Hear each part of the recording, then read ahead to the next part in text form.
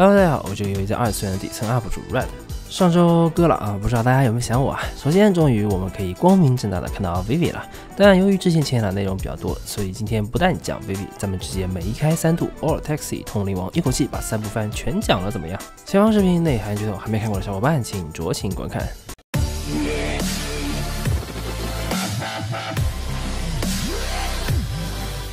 那首先我们来说的就是《通灵王》。作为《通灵王》的忠实粉丝，如今我只想说一句：这番我没看了。如果要问为什么，其实还真不好说。重置版的节奏非常快，甚至一集讲了老版三四集的内容。可能也正因为这样，大量原本的角色铺垫内容被砍，这就导致人物塑造方面看起来比较单薄。或许是因为一直看老版的关系，我已经很难站在一个没有看过《通灵王》的角度去看这部番了。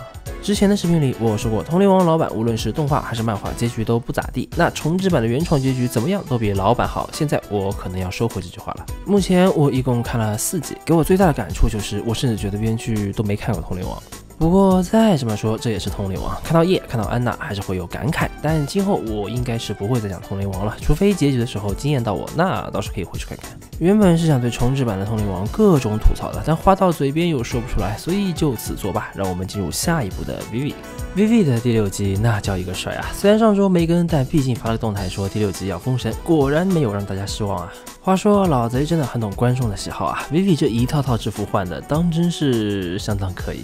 回头来说剧情啊，之前有粉丝私信我说，关于松本是如何确定起点事件的。这里我总觉得有个时间差上的 bug，就是如果原来松本是要阻止博士结婚，那他醒来的时间点应该并不是五年这个时间点。但后来我们知道，巨福岛本来应该诞生距今二十年，也就是旭日号坠落后的二十五年。而松本说，这座岛就是他清醒的原因。所以如果照这个思路去推，松本是可以根据起点的变化或需要，即使在改变后的世界线，依然可以在起点醒来。不过这里有一个情况，大家要了解一下。通常科技起点的跨度非常长，从之前剧情我们也可以知道，松本第一次出现和第二次出现中间隔了十五年，而第二次和第三次仅仅只有五年。这说明 AI 发展的进度甚至远超阿尔法世界线。换而言之，就是松本应该非常清楚，他们所做的事儿不是在阻止 AI 与人类战争，而是加快了这个进程。但 Vivi 目前应该是感觉到了不对，但并不确定。下一集贝塔世界线又要变成伽马世界线了，而相对应的就是 AI 科技更高速的发展，或者说是姐妹型 AI 更高速的发展。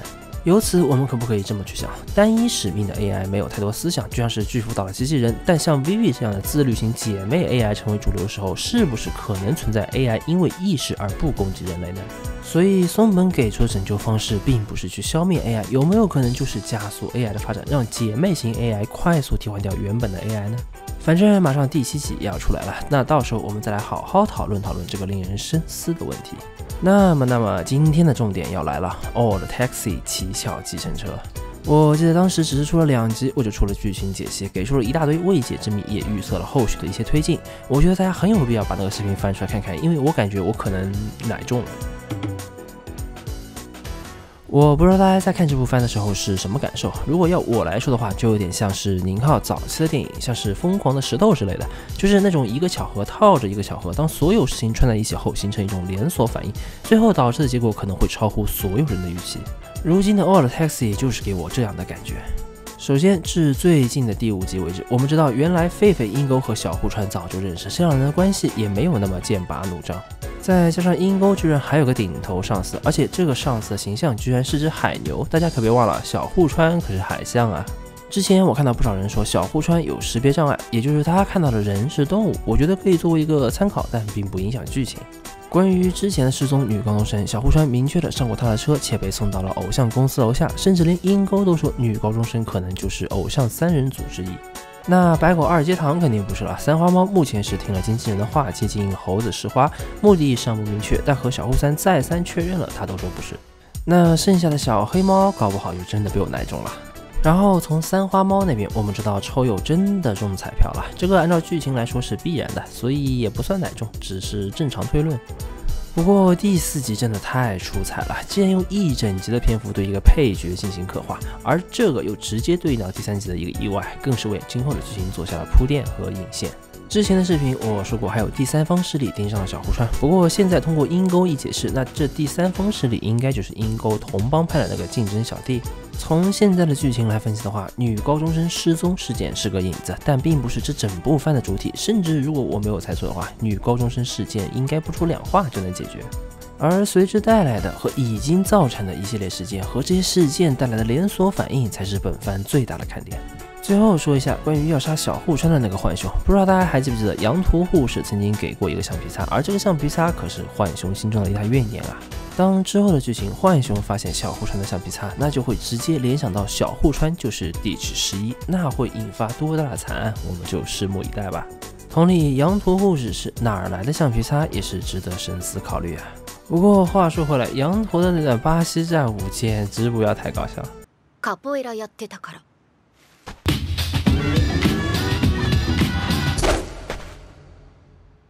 くりしたインド映画始まったのかと思ったケシャだやめろケシャだやめろ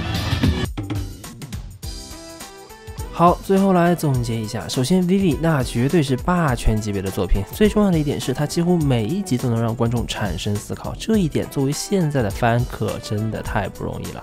而至于《Old Taxi》，我想说，如果不是因为这番的受众群体少，从目前的剧情角度来说，甚至可以完全超越 Vivi。 原本四月原创里，我就主要对这俩抱有希望。目前来看，这两部作品真的是给我惊喜不断，我就坐等他俩封神的那一天。喜欢本期视频的小伙伴，千万不要忘记关注弹幕三连支持。我是 Red，我们下期再见，拜了个拜。